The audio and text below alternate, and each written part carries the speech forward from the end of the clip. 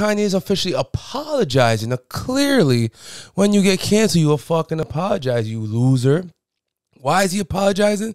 Not for the George Floyd and not because of his family, because he feels like there's a knee on the back of his head now that Adidas dropped him and he got off the Forbes billionaire list. You know who got on the Forbes billionaire list?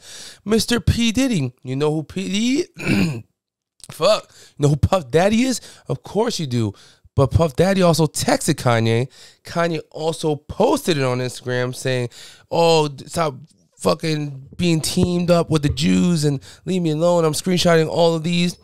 Guess who's a billionaire now? P. Diddy. Guess who's not a billionaire anymore?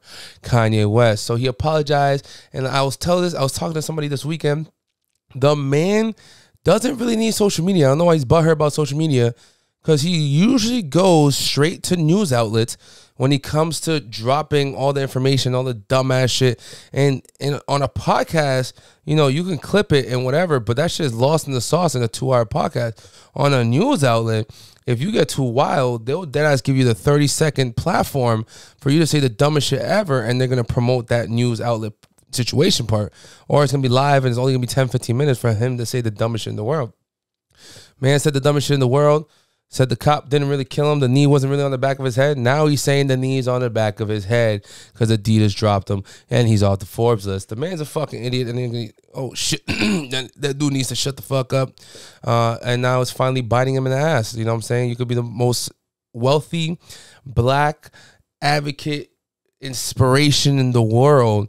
They will destroy you in the U.S. regardless of how much power you think you have. And um, his new little come up is I told you, bro, even billionaires can get censored. So he is sending us a message, and I respect the message, but you don't do it in the way that he said. And then he tried to explain his DEF CON comment with the Jews. Kanye, shut the fuck up, fam.